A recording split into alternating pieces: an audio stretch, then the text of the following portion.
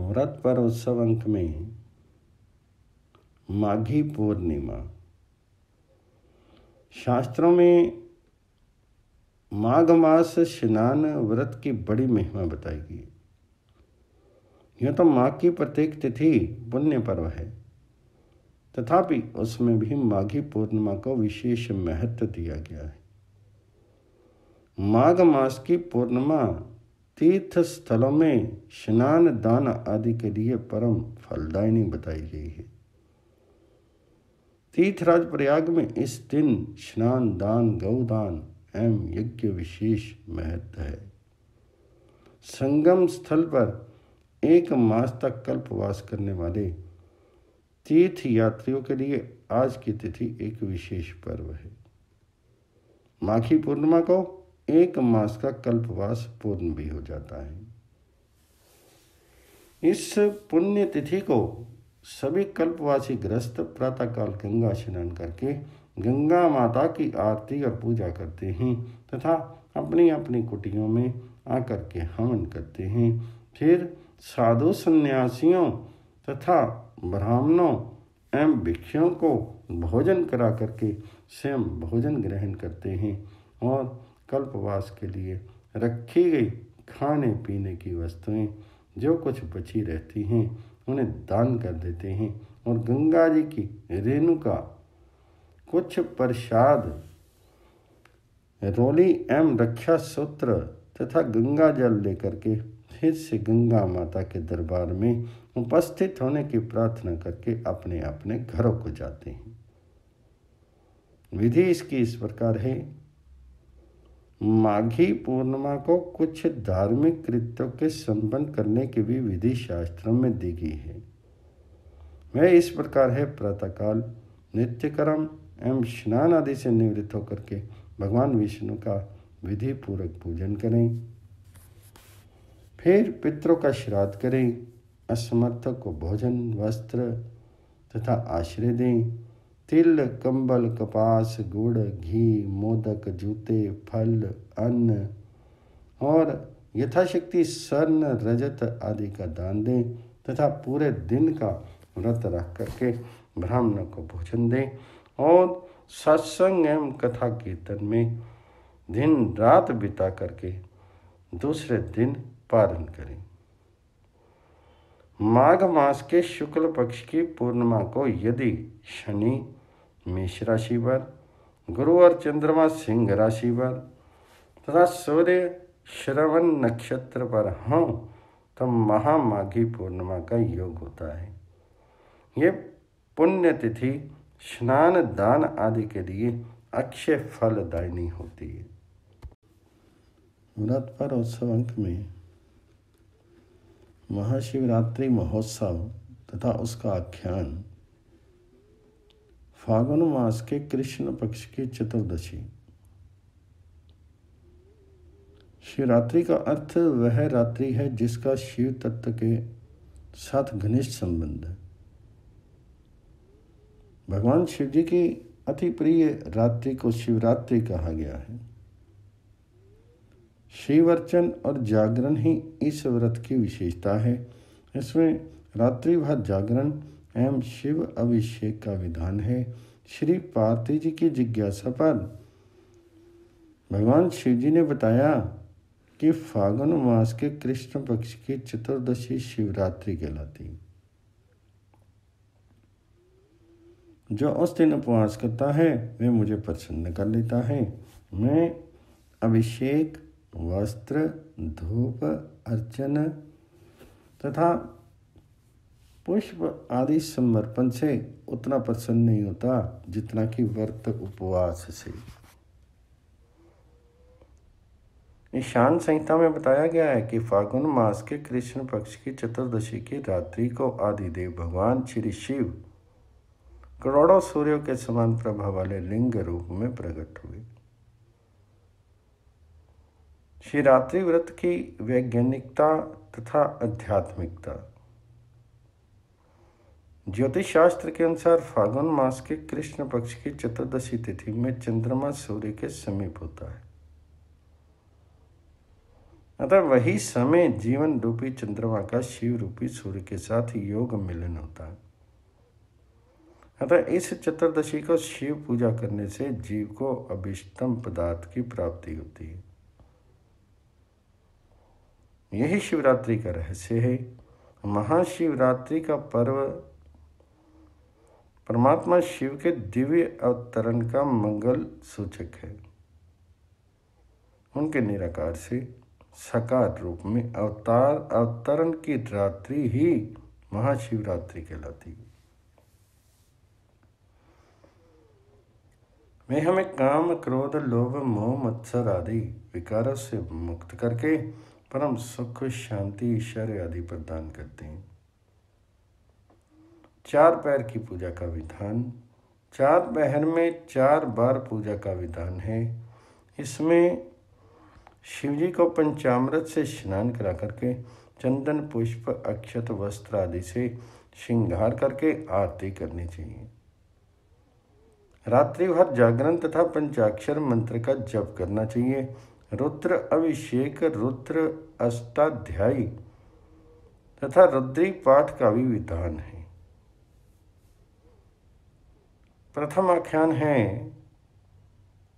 पदम कल्प के प्रारंभ में।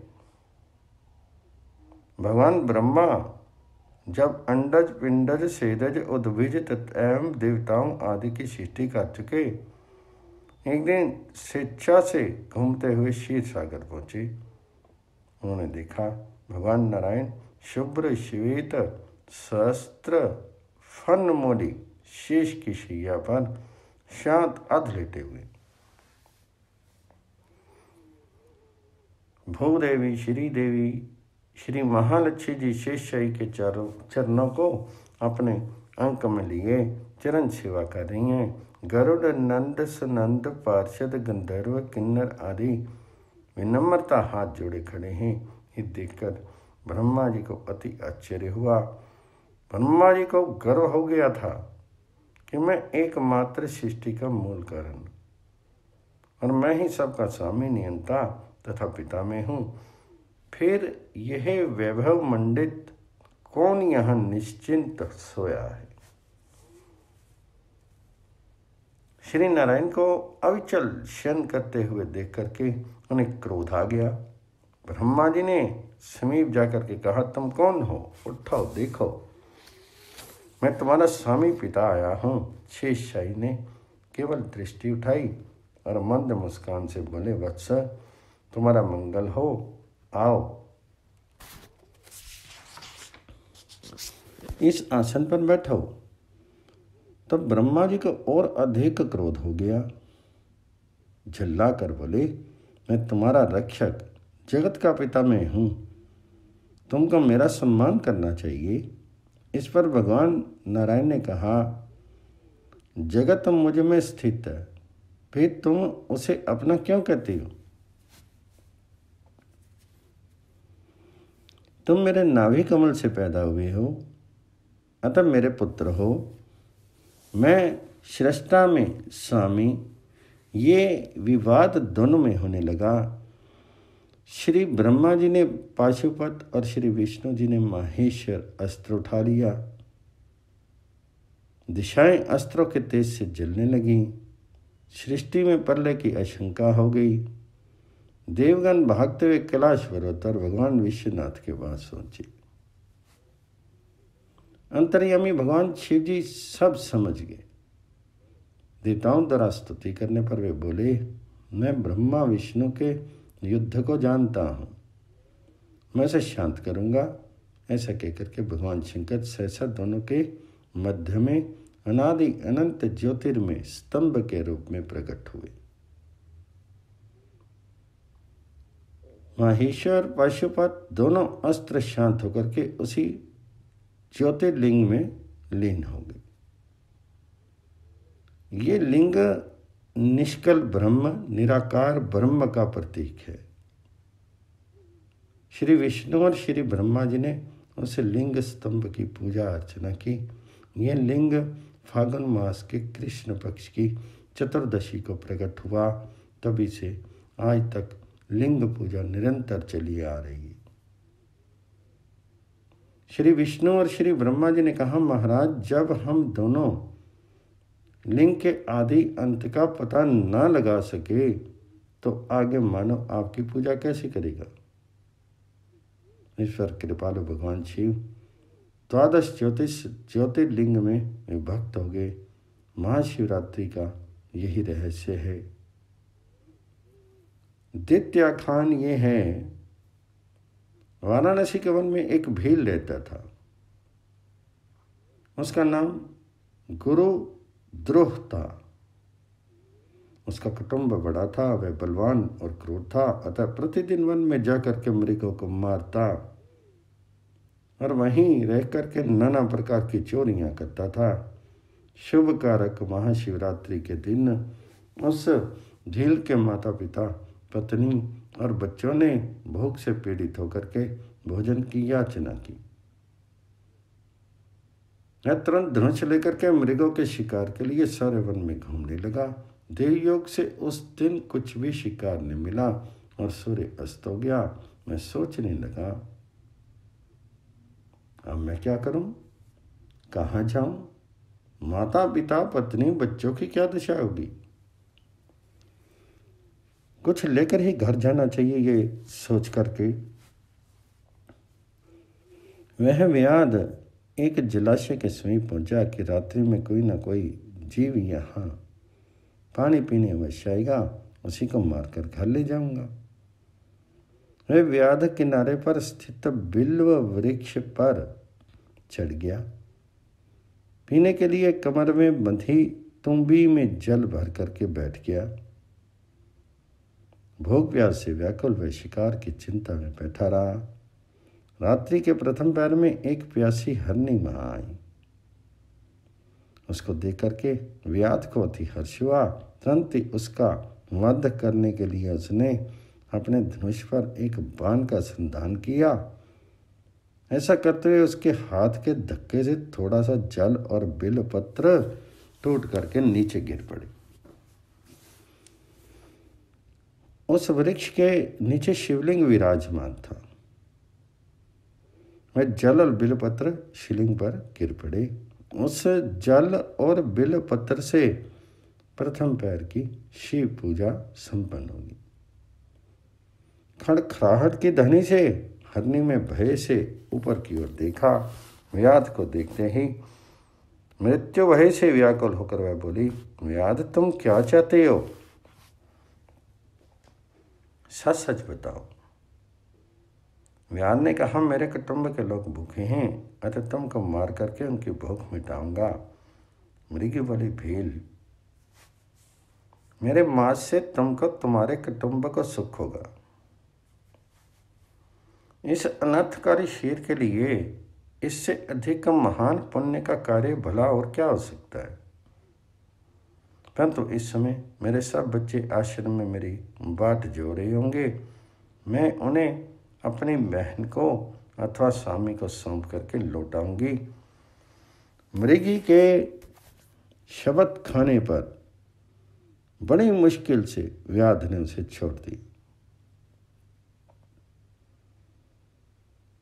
नित्य प्रहन में उस हरने की बहन उसी की राह देखती हुई, ढूंढती हुई चल पीने वहाँ आ पहुँची। व्याध ने उसे देख करके बाण को तरकस से खींचा ऐसा करते समय पुनः पहले की भांति शिवलिंग पर जल बिल्व पत्र गिर गए। इस प्रकार दूसरे पैर की पूजा संपन्न हो मृगी ने पूछा, व्याध, ये क्या कर करते हो? तो व्याध ने पूर्व उत्तर दिया, मैं अपने भूखे कुटुंब को तृप्त करने के लिए तुम्हें मारूँगा। मृगी ने कहा, मेरे छोटे छोटे बच्चे घर में हैं। अतः मैं उन्हें अपने स्वामी को सौंप करके तुम्हारे पास लौटाऊँगी। मैं वचन देती हूँ व्याध ने उसे भी छोड़ दिया।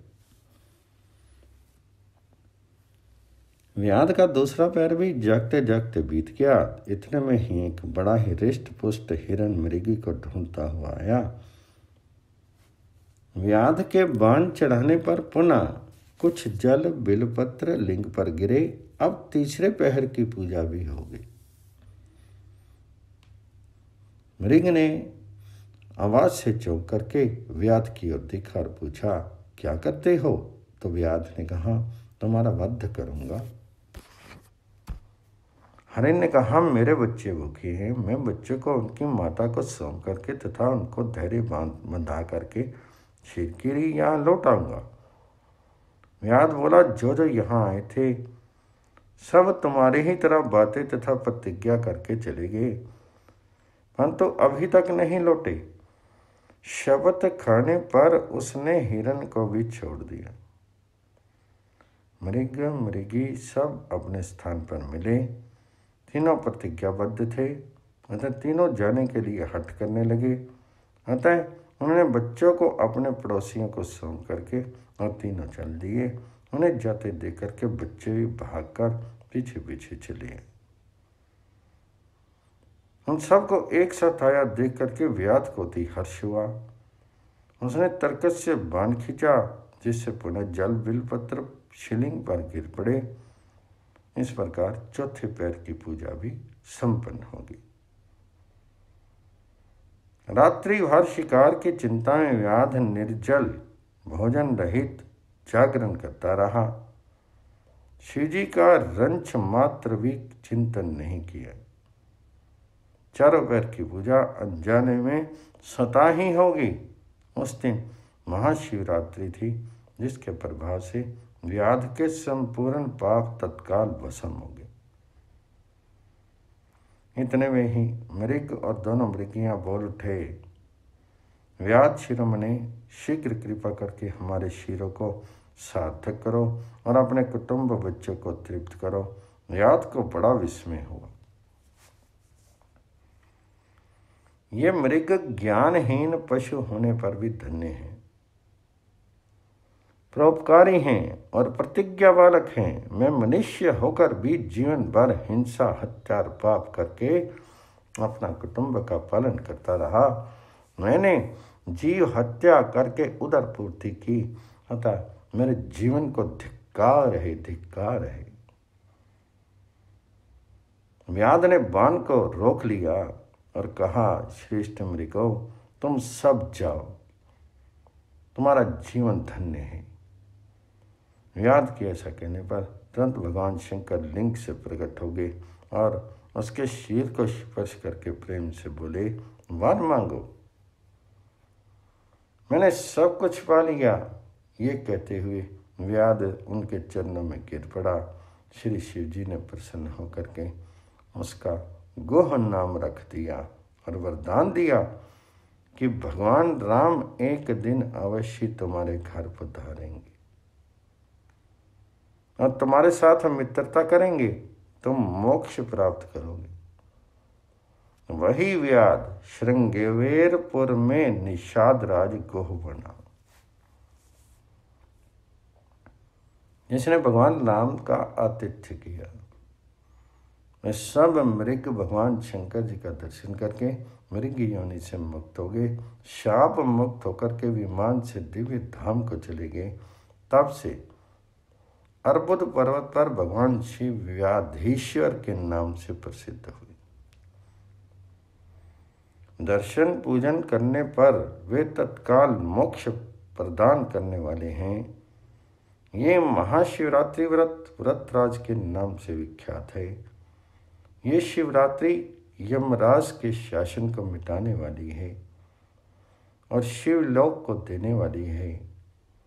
शास्त्रोक्त विधि से जो इसका जागरण सहित उपवास करेंगे, उन्हें मोक्ष की प्राप्ति होगी। शिवरात्रि के समान पाप और भय मिटाने वाला दूसरा व्रत नहीं है। इसके करने मात्र से सब पापों का क्षय हो जाता है। व्रत पर उत्सव अंक में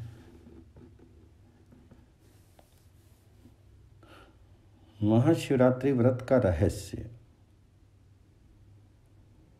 महाशिवरात्रि व्रत फागुन मास के कृष्ण पक्ष की चतुर्दशी तिथि को किया जाता है। इस व्रत को अर्धरात्रि व्यापनी चतुर्दशी तिथि में करना चाहिए। चाहे ये तिथि पूर्वा त्रयोदशी युक्त हो, चाहे परा हो नारद संहिता के अनुसार, जिस दिन फागुन मास के कृष्ण पक्ष की चतुर्दशी तिथि आधी रात के योग वाली हो, उस दिन जो शिवरात्रि व्रत करता है, वह अनंत फल को प्राप्त करता है। इस संबंध में तीन पक्ष चतुर्दशी को प्रदोष व्यापनी, दूसरी है निशीत अर्थात अर्धरात्रि व्यापनी तीसरी है उभय व्यापनी व्रतराज, निर्णय सिंधु तथा धर्म सिंधु आदि ग्रंथों के अनुसार निषिद्ध व्यापनी चतुर्दशी तिथि को ही ग्रहण करना चाहिए। अतः चतुर्दशी तिथि का निश्चित व्यापनी होना ही मुख्य है। परंतु इसके अभाव में प्रदोष व्यापनी के ग्राह्य होने से ये पक्ष गौण है। इस कारण पूर्वा या परा दोनों में जो भी निश्चित व्यापनी चतुर्दशी तिथि हो, उसी में व्रत करना चाहिए।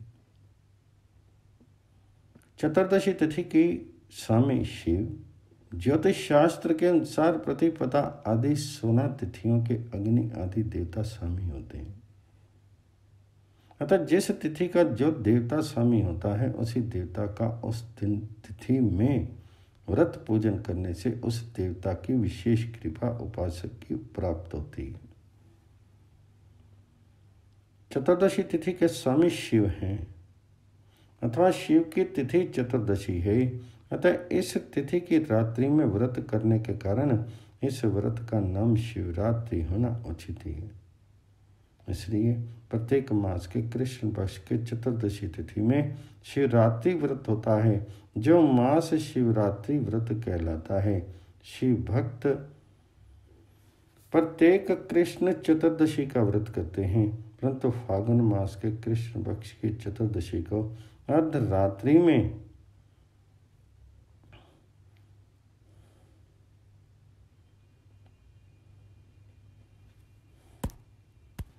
शिवलिंग त्यो उद्भूत कोटि सूर्य संप्रभ।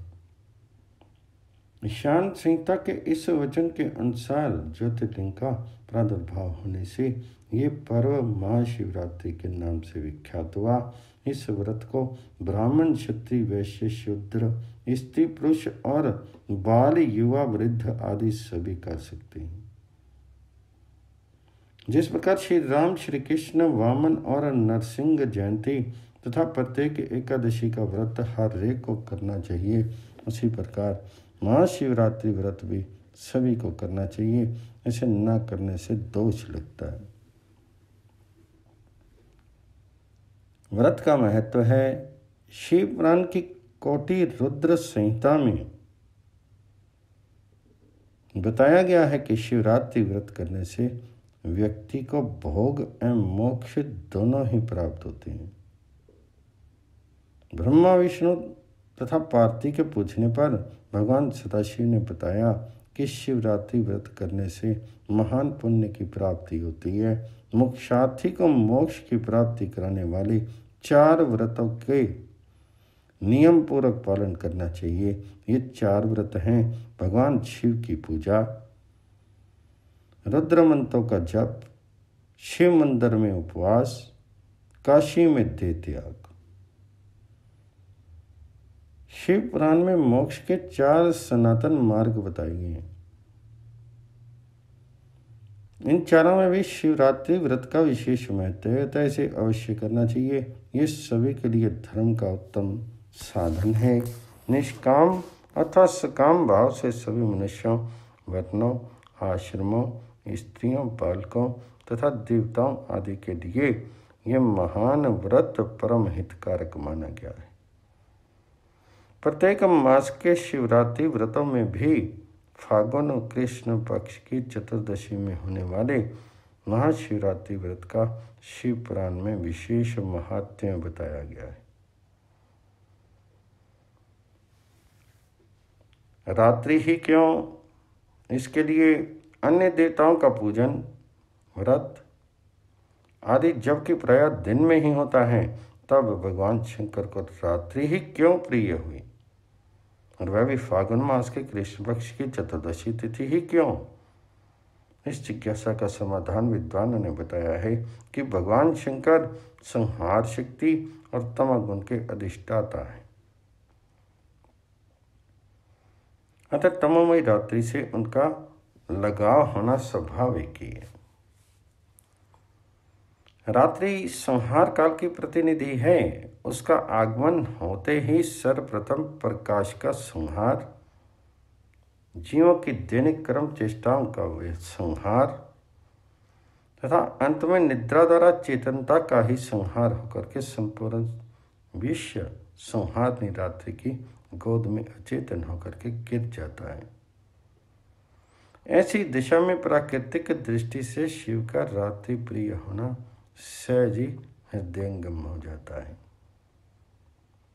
यही कारण है कि भगवान शंकर की आराधना न केवल इस रात्रि में ही, वरना सदैव पर दो शिवरात्रि के प्राप्त होने के समय में ही की जाती है।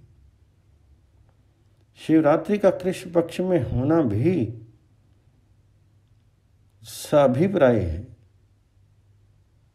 शुक्ल पक्ष में चंद्रमा सूर्य सबल होता है और कृष्ण पक्ष में शीन उसकी वृद्धि के साथ साथ संसार के संपूर्ण रसवान पदार्थों में वृद्धि और क्षय के साथ साथ उसमें क्षीणता होना स्वाभाविक एवं प्रत्यक्ष है।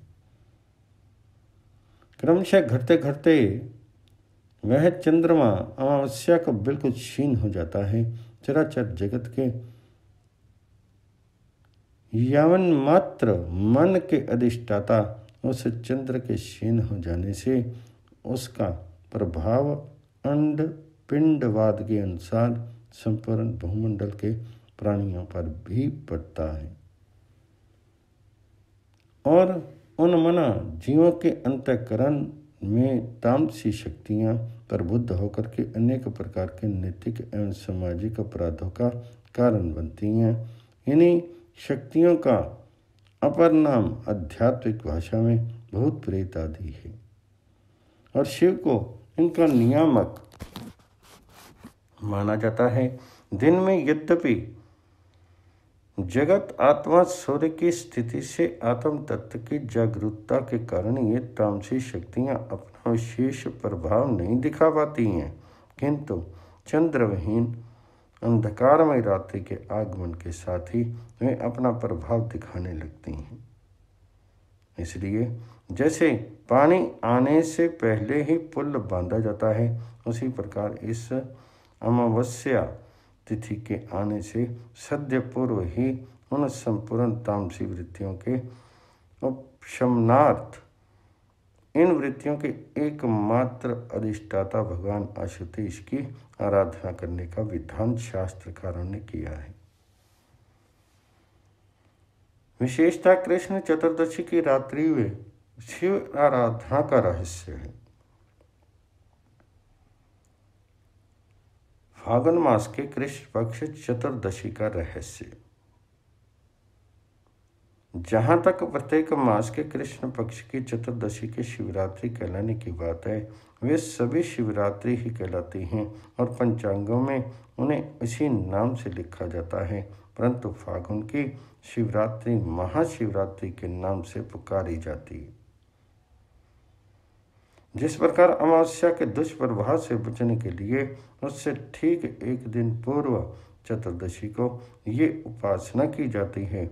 उसी प्रकार क्षय होते हुए वर्ष के अंतिम मास चित्र से ठीक एक मास पूर्व फागुन में ही इसका विधान शास्त्रों में मिलता है, जो कि श्रद्धा युक्ति संगत ही है।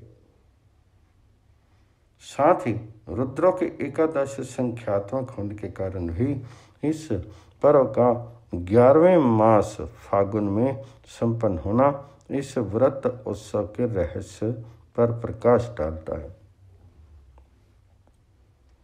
उपवास, रात्रि जागरण क्यों? ऋषि महर्षि ने समस्त आध्यात्मिक अधिष्ठानों में उपवास को महत्वपूर्ण माना है। गीता की इस उक्ति, विश्या विनिवर्तनते निराहारस्य देहिना। के अनुसार उपवास, विषय निवृत्ति का अचूक साधन है, अतः आध्यात्मिक साधना के लिए उपवास करना परम आवश्यक है। उपवास के साथ रात्रि जागरण के महत्व पर गीता का यह कथन अत्यंत प्रसिद्ध है।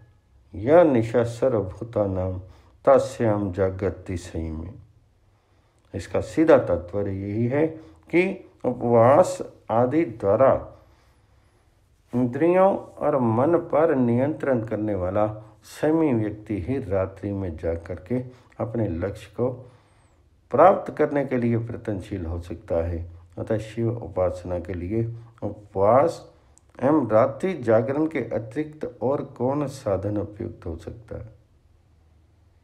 रात्रि प्रिय शिव से भेंट करने के समय रात्रि के अलावा और कौन समय हो सकता है?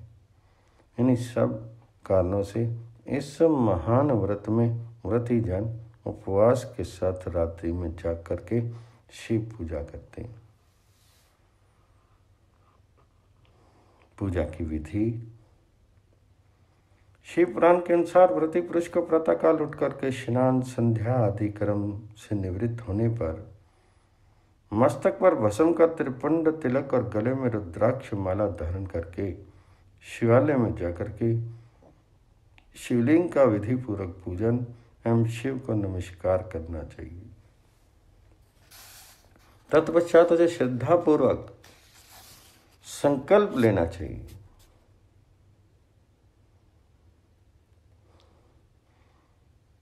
उसके बाद पुष्प, अक्षत, जल आदि को छोड़ने के, को छोड़ना चाहिए। और कहना चाहिए, हे देव देव, हे महादेव, हे नीलकंठ, आपको नमस्कार है। हे देव, मैं आपका शिवरात्रि व्रत करना चाहता हूँ। हे देवी, आपकी कृपा से ये व्रत निर्विघ्न पूर्ण हो और काम क्रोध, लोभ आदि शत्रु मुझे पीड़ित नहीं करे। फिर रात्रि पूजा है। दिन भर अधिकार के अनुसार शिव मंत्र का यथाशक्ति जप करना चाहिए, अर्थात जो द्विज है और जिनका विधिवत यज्ञोपित संस्कार हुआ है तथा नियम पूर्वक यज्ञोपित धारण करते हैं, उन्हें ओम नमः शिवाय मंत्र का जप करना चाहिए। परंतु जो द्विजेतर, अनुपनीत एवं स्त्रियाँ हैं उन्हें प्रणव रहित शिवाय नवा मंत्र का जप करना चाहिए। रुग्ण, अशक्त और वृद्ध जन दिन में फल आहार ग्रहण करके रात्रि पूजा कर सकते हैं। वैसे यथाशक्ति बिना फल आहार ग्रहण किए रात्रि पूजा करना उत्तम है। रात्रि के चारों पैरों के पूजा विधान शास्त्रकारों ने किया है।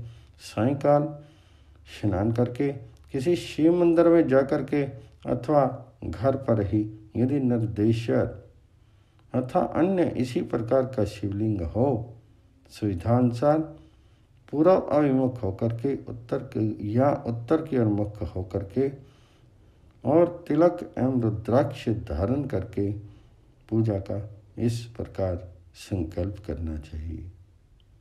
फिर देश काल का संकीर्तन करने के अनंतर कहना चाहिए।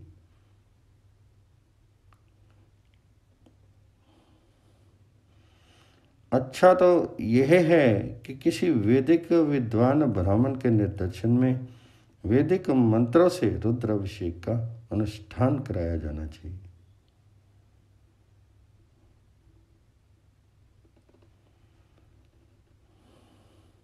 व्रती को पूजा की सामग्री अपने पास में रखनी चाहिए। ऋतुकाल के फल, पुष्प, गंध, चंदन बिलपत्र धतूरा, धूप, दीप और नैवेद्य आदि द्वारा चारों पहर की पूजा करनी चाहिए। दूध, दही, घी, शहद और शक्कर से अलग अलग तथा सबको एक साथ मिला करके पंचामृत से, शिव को स्नान करा करके जल धारा से उसका अभिषेक करना चाहिए।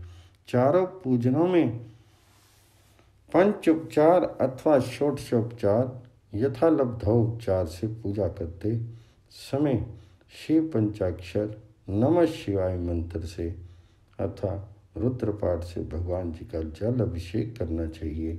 भाव, शर्व, रुद्र, पशुपति, उग्र, महान, भीम और ईशान। इन आठ नामों से पुष्पांजलि अर्पित करके भगवान जी की आरती और परिक्रमा करनी चाहिए और अंत में शंभु से प्रार्थना करनी चाहिए कि हे महादेव, आपकी आज्ञा से मैंने जो व्रत किया है, हे स्वामी, वह परम उत्तम व्रत पूर्ण हो गया। अतः अब उसका विसर्जन करता हूँ। हे देवेश्वर शर्व, यथाशक्ति किए हुए इस व्रत से आप आज मुझ पर कृपा करके संतुष्ट हो। अशक्त होने पर यदि चारों पहर की पूजा ना हो सके तो पहले पहर की पूजा अवश्य करनी चाहिए। और अगले दिन प्रातःकाल पुनः स्नान करके भगवान शंकर की पूजा करने के पश्चात व्रत की पालना करनी चाहिए। स्कंद पुराण के अनुसार इस प्रकार अनुष्ठान करते हुए शिव जी का पूजन, जागरण और उपवास करने वाले मनुष्य का पुनर्जन्म नहीं होता। इस पर, इस महान पर्व के विषय में एक आख्यान के अनुसार शिवरात्रि के दिन पूजन करती हुई किसी स्त्री का आभूषण चुरा लेने के अपराध में मारा गया कोई व्यक्ति, इसलिए शिव जी की कृपा से सदगति को प्राप्त हुआ, क्योंकि चोरी करने के प्रयास में वे आठ पहर भूखा प्यासा और जागता रहा।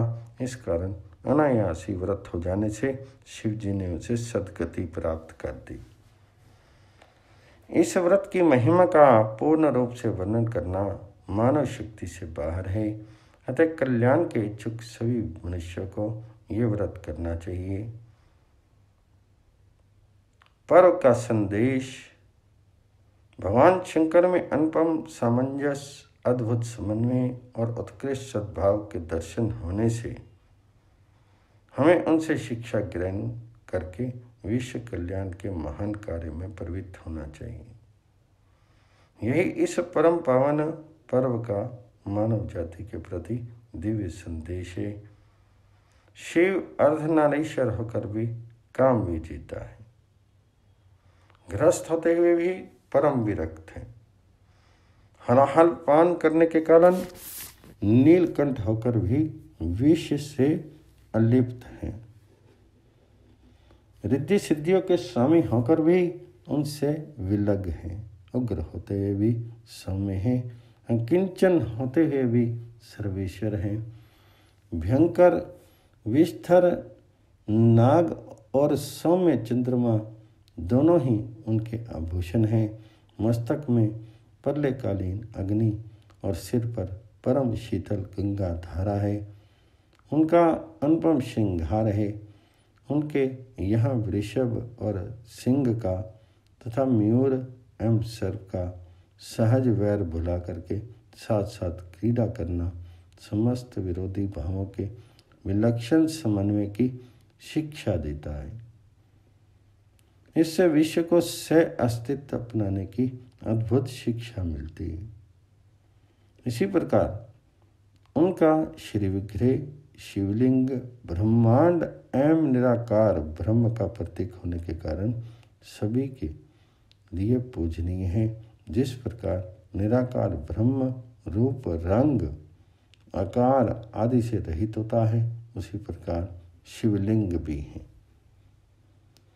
जिस प्रकार गणित में शून्य कुछ न कुछ होते हुए भी सब कुछ होता है, किसी भी अंक के दहने होकर जिस प्रकार यह उस अंक का दस गुना मूल्य का देता है, उसी प्रकार शिवलिंग की पूजा से शिव भी दाहिने अनुकूल होकर के मनुष्य को अनंत सुख समृद्धि प्रदान करते हैं। अतः मानव को उपयुक्त शिक्षा ग्रहण करके उनके इस महान महाशिवरात्रि महा उत्सव को बड़े समारोह पूर्वक मनाना चाहिए।